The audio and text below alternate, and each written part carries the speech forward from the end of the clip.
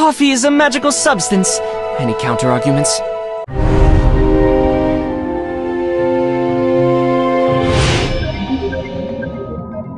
Yes, I'm here. What now?